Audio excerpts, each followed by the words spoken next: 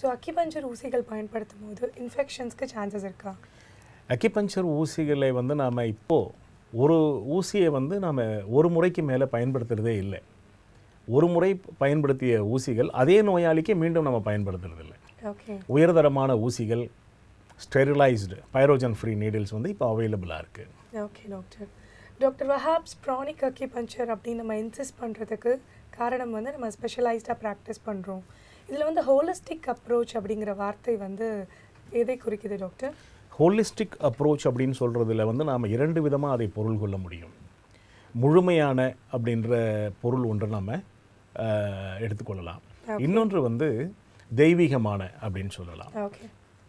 இந்த இரண்டு நிலைகளிலும் இதில் வந்து நம்ம நிவாரணம் பெறலாம் ஓகே டாக்டர்